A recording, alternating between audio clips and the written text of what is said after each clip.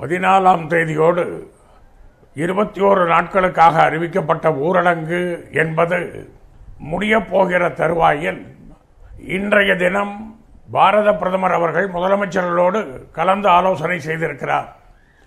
கடந்த முறையும் முதலமைச்சர்களோடு பேசுகின்ற போது அது ஆரம்ப நிலை என்று கூட சொல்லலாம். ஆனால் இன்றைய தினம் பேசுவதற்கு இடைப்பட்ட காலத்தில் மாநில முதலமைச்சர்கள் தங்கள் மாநிலத்திற்கு தேவையான முழு நிவாரணங்களை பற்றிய குறிப்புகளை மத்திய அரசுக்கு தெரிவித்திருக்கிறார்கள். இது குறித்து எந்த விதமான ஒரு வார்த்தையை கூட பாரத பிரதமர் முதலமைச்சர்களோடு கலந்து கொண்டு நிதி உதவிக்கான உத்தரவாதத்தை கொடுக்க கொடுக்கவில்லை என்பது மிகுந்த வருத்தம் அளிக்கக்கூடியதாக இருக்கிறது. மாண்புமிகு முதலமைச்சர் நாராயணசாமி அவர்கள் இது குறித்து கூறுகிற பல விஷயங்களை நாங்கள் ஏற்றுக்கொள்கிறோம். பாரத பிரதமர் அவர்கள் நிச்சயமாக மாநில ம- கொரோனா எதிர்ப்பு போராட்டத்தில் முழுமையாகவும் முன்னிலையிலும் நிற்கக்கூடியது மாநில அரசுகள் தான். ஆகவே மாநில அரசுகள் கேட்கிற அனைத்து உதவிகளையும் கட்டாயம் செய்ய வேண்டும். ஒருவேளை ஒருவேளை இந்த ஊரடங்கு நீடித்தாலோ அல்லது கட்டங்கட்டமாக விலக்கிக் கொள்ளப்படும் என்று அவர்கள் அறிவித்தாலும் கூட ஒரு பழைய சகஜமான நிலைமைக்கு இந்த நாடு வருவதற்கு மிக நீண்ட காலம் எடுத்துக்கொள்ளும்.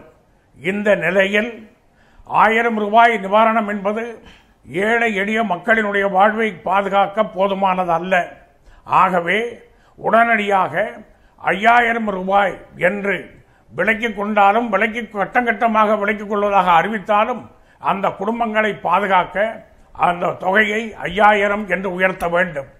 குடும்பங்களுக்கு நம்மிடத்தில் இருக்கக்கூடிய உணவு தானிய இருப்பு என்பது இந்தியாவில் மிகப்பெரிய அளவிற்கு வைக்கப்பட்டிருப்பது நல்லது. ஆகவே ரேஷன் கார்டுகளுக்கு முப்பத்தி ஐயா முப்பத்தி அஞ்சு கிலோ. அரிசி என்பதும் இதர அனைத்து பொருள்களும் உடனடியாக அதிகரித்து வழங்கப்பட வேண்டும். ரேஷன் கார்டு இல்லாத புலம்பெயர்ந்த தொழிலாளிகளை பாதுகாக்க இன்றைக்கு மத்திய அரசாங்கம் சுப்ரீம் கோர்ட்டிலேயே கொடுத்திருக்கக்கூடிய அபிடவிட்டில் இந்தியாவிலேயே அறுபத்தி எட்டு சதவிகிதம் புலம்பெயர்ந்த தொழிலாளர்களை பாதுகாக்க தங்க வைக்க நடவடிக்கை கேரள மாநில அரசாங்கம் எடுத்திருக்கிறது என்று மத்திய அரசாங்கமே சொல்லியிருக்கிறது ஆகவே அனைத்து மாநிலங்களிலேயும் புலம்பெயர்ந்த அந்த தொழிலாளிகளை பாதுகாக்க முழு நடவடிக்கைகள் எடுக்கப்பட வேண்டும் என்பதையும் வலியுறுத்துகின்றோம் தொழிலாளிகளை பொறுத்த வரையில். மிக கடுமையான பாதிப்புக்கு உள்ளாகி இருக்கக்கூடிய இந்த நிலை பிரதமர் இந்திய தேச மக்களிடத்திலே பேசுகிற போது விளக்கேட்டுங்கள் கைதட்டுங்கள் போன்ற விஷயங்களை சொல்லுகிறார். அதுக்குள்ள நான் போகல. ஆனா நாங்கள் கேட்டுக்கொள்வதெல்லாம் நாம் பொதுமக்களையும் கேட்டுக்கொள்கிறோம். அதாவது பாரத பிரதமருக்கு ஒரு எஸ்எம்எஸ் கொடுங்க எல்லாரும். இந்த தேசத்தினுடைய பாராளுமன்றத்தில் புதிய பாராளுமன்றம் கட்டுகிறோம்.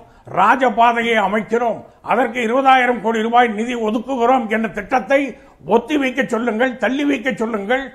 அந்த நிதியை கொரோனா பாதுகாப்பு நிதியாக கொரோனாவிலிருந்து பாதிக்கப்பட்ட மக்களை பாதுகாக்கிற நிதியாக அந்த நிதியை பயன்படுத்த வேண்டும் என்று அனைத்து மக்களும் பாரத பிரதமருக்கு ஒரு எஸ்எம்எஸ் கொடுக்க வேண்டும் என்று நாங்கள் கேட்டுக்கொள்ள விரும்புகிறோம்.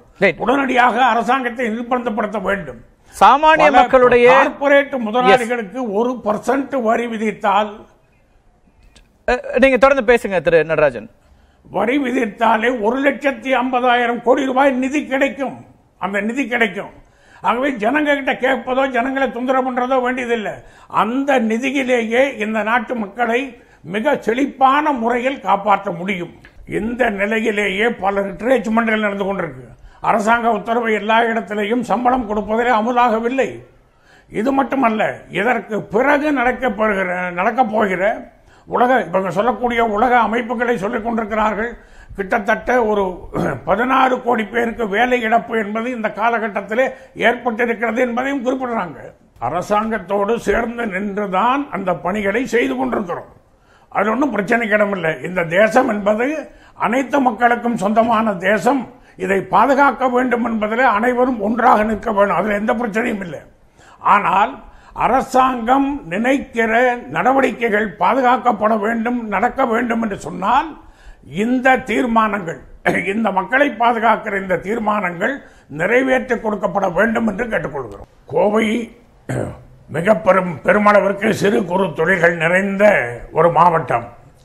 இன்றைக்கு இந்த மாவட்டத்திற்குள்ளே இந்த பிரச்சனையின் காரணமாக தொழிலாளர்களும் சரி சிறு குறு தொழில்கள் நடத்துகின்ற நண்பர்களும் கடுமையாக பாதிக்கப்பட்டிருக்கிறார்கள். அரசு தனி கவனம் செலுத்த வேண்டும் என்று கேட்டுக்கொள்கிறோம். பல வரிகளிலே இருந்து அவர்கள் விளக்கு கேட்டிருக்கிறார்கள். அதை முழுவதையும் பரிசீலிக்க வேண்டும் என்று கேட்டுக்கொள்கிறோம்.